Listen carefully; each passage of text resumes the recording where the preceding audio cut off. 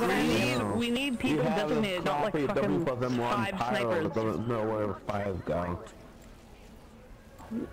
We don't need five snipers, guys. You got that? We need one sniper. There's sniper. only one sniper on our freaking team.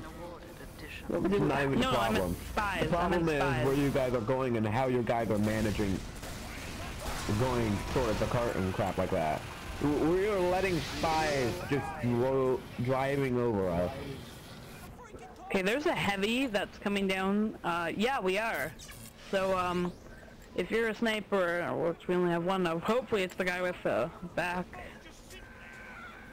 Oh, no, it's not. We- We're just letting them freaking What? walk around on us. And the Razorback is useless. Don't ever use it. They can just pull out the revolver and blow your head off. It's not even worth it.